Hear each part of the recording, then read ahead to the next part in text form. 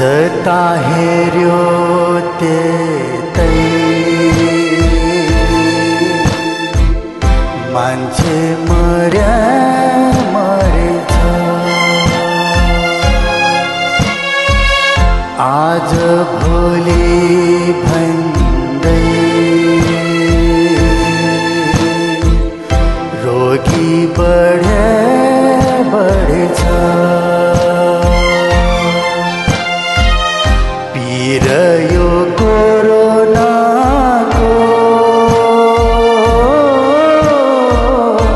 कहीं